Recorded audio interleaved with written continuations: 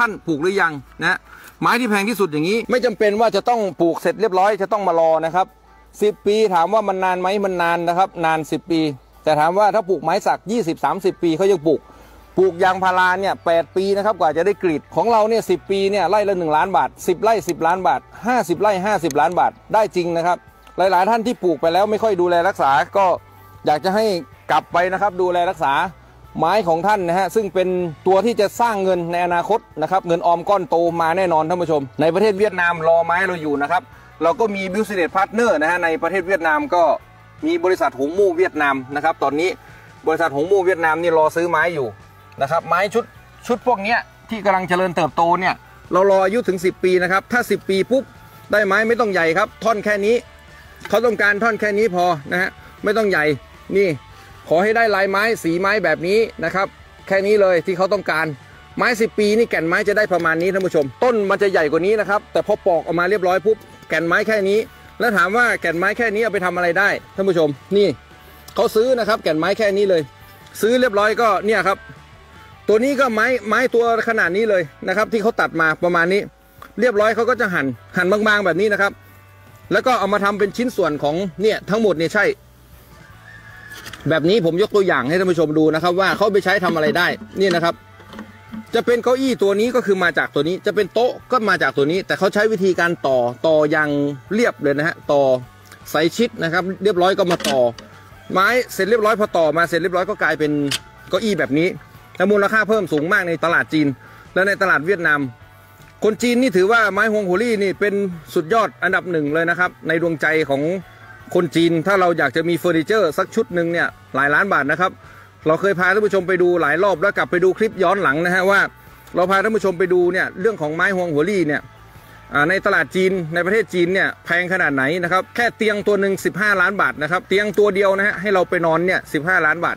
อันนั้นแล้วมีคนซื้อจริงด้วยอยู่ที่ที่ประเทศจีนนะครับก่อให้หลำก่อให้หลำเป็นต้นกำเนิดนะครับ แต่บอกไว้ก่อนว่าถ้าไปต่างมณฑลส่งไปที่ปักกิ่งเซี่ยงไฮ้กวางโจวเมืองเศรษฐกิจนะครับแพงเป็น 2 เท่านะครับแล้วมีคนซื้อจริงไหมมีคนซื้อจริงท่านผู้ชม เศรษฐีในเมืองไทย เศรษฐีดูไบเศรษฐีทุกที่ในโลกเนี่ยนะครับไปซื้อไม้ฮวงหัวลี่นี้เช่นเดียวกัน เพราะว่าแพงมากนะครับแล้วก็มีชื่อเสียงโด่งดังมากนะครับ หน้าที่ของคนไทยไม่ต้องคิดอะไรเยอะนะครับ ต้นกล้าแบบนี้เอาไปปลูกลงดิน แล้วการขึ้นทะเบียนเนี่ยบริษัทหงมู่เราขึ้นทะเบียนให้เรียบร้อยนะครับ เวลาท่านซื้อต้นกล้าไปจะบอกท่านผู้ชมก่อนนะครับว่า ถ้าท่านซื้อต้นกล้าไปมันจะต้องคู่กันนะครับ แบบนี้นะถ้าท่านซื้อต้นกล้าไปต้องมีเอกสารการขึ้นทะเบียนแบบนี้นะครับ ถ้าไม่ขึ้นทะเบียนส่งออกไม่ได้นะทำไมเราต้องถามกรมป่าไม้นะครับทำไมเราต้องส่งหนังสือเอกสาร สอบถามให้เป็นลายลักษณ์อักษรกับกรมป่าไม้เพราะว่าเรากลัวว่ามันส่งออกไม่ได้จริง แต่ตอนนี้คือกรมป่าไม้ยืนยันแล้วว่าส่งออกได้จริงนะครับ ไม่จำเป็นที่จะต้องไปแจ้งนะครับ ในเรื่องของไม้ฮวงหัวรี่เนี่ยตั้งแต่การปลูกการตัดการขนย้ายการขายนะฮะไม่ต้องเลย มีอย่างเดียวคือต้องขออนุญาตก็คือเรื่องของการแปรรูปนะฮะถ้าการแปรรูปต้องขออนุญาต แต่ถามว่ามันยุ่งยากไหมก็ไม่ยุ่งยากนะครับทำได้ ที่แน่ๆบริษัทหงมู่เนี่ยทำเรื่องยากๆให้ท่านแล้วนะครับก็คือเราไปขึ้นทะเบียนกับกรมวิชาการเกษตรเรียบร้อยนะครับไม่ได้ขึ้นกับกรมป่าไม้นะแต่มันขึ้นกับกรมวิชาการเกษตรสำนักคุ้มครองพันธุ์พืชนะเราขึ้นทะเบียนให้เรียบร้อยท่านผู้ชมนี่แบบนี้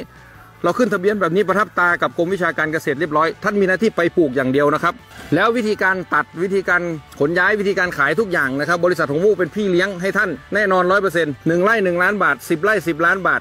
ห้าสิบไร่ห้าสิบล้านบาท ได้แน่นอนร้อยเปอร์เซ็นต์นะครับ บริษัทหงมู่อยู่เคียงคู่เคียงข้างเกษตรกรนะครับ วันหนึ่งเราก็มีความหวังว่าวันหนึ่งนะครับ บริษัทในเมืองไทยเนี่ยจะสามารถที่จะแปรรูปผลิตเก้าอี้โต๊ะเก้าอี้ไม้แบบนี้นะครับ ซึ่งวัตถุดิบถ้าอยู่ในเมืองไทยเราปลูกเอง ปลูกเองเนี่ยเรามีวัตถุดิบแน่นอน เราทำเก้าอี้โต๊ะโซฟาเฟอร์นิเจอร์ทุกอย่างที่ทำจากไม้ฮวงหัวลี่แล้วส่งไปขายยังประเทศจีนประเทศเวียดนาม หรือส่งไปขายตลาดโลกทั่วโลกเลย ก็ไม่ได้มีปัญหานะครับ มันต้องเกิดขึ้นแน่นอนสำคัญก็คือเราต้องมุ่งมั่นนะครับ เราต้องมุ่งมั่น เราต้องตั้งใจที่จะทำนะครับ ตั้งใจจริง แล้วการตั้งใจจริงของเราเนี่ยผ่านมานี่ก็ 8 ปี 9 ปีแล้วนะครับท่านผู้ชม 9 ปีนะครับเกือบ 10 ปี ติดตามได้นะครับ บริษัทหงมู่กลับไปค้นหาย้อนหลังได้ไม้ห่วงหัวลี่ค้นคำว่าไม้ห่วงหัวลี่ค้นคำว่าพยุงไฮหลำพยุงเวียดนามนะครับค้นคำว่าบริษัทหงมู่ไทยแลนด์นะฮะเจอแน่นอนนะครับร้อยเปอร์เซ็นต์ แล้วเราทำจริงแน่นอนส่งเสริมอย่างถูกต้องนะครับ ถ้าท่านจะปลูกไม้ฮงโหัวรี่ต้องปลูกไม้ที่ขึ้นทะเบียนถูกต้องตามกฎหมาย เท่านั้นถึงจะส่งออกได้นะครับ เพราะว่าสกุลไม้พยุงเนี่ยมันอันตรายนะครับ ถ้าท่านปลูกแล้วส่งออกไม่ได้ ที่ท่านปลูกมา 10 กว่าปี เสียโอกาสเสียเวลาฟรีๆนะครับเพราะฉะนั้นเริ่มต้นให้มันถูกนะฮะติดกระดุมเม็ดแรกให้ถูกนะครับ เม็ดต่อไปถูกแน่นอน แต่ถ้าท่านติดกระดุมเม็ดแรกผิดตั้งแต่แรกปลูกกล้าเถื่อน กล้าที่ไม่ได้ขึ้นทะเบียน อันนี้ต้องเตือนก่อนนะครับ เพราะว่าหลาย ๆ ท่านเนี่ยปลูกต้นกล้าเถื่อนไป สุดท้ายลองไปถามกรมป่าไม้สิเขาจะให้ส่งออกไหมถ้าเป็นกล้าเถื่อน ไปถามกรมวิชาการเกษตรสิเขาจะออกเอกสารแบบนี้ให้ท่านส่งออกได้ไหมส่งไม่ได้นะครับ ท่านต้องลักลอบอีก ถ้าโดนจับมาเรียบร้อยนะครับ โดนยึดทั้งหมดนะฮะมันเป็นของผิดกฎหมายก็คือจบนะฮะท่านผู้ชมทำอะไรไม่ได้เลยนะครับฝากไว้ด้วยนะครับบริษัทหงมู่ไทยแลนด์อยู่เคียงคู่เคียงข้างเกษตรกรแน่นอนนะครับ คนที่ปลูกไม้ฮงโหัวรี่ สำหรับวันนี้ขอบคุณที่กรุณาติดตามรับชมนะครับ สวัสดีครับ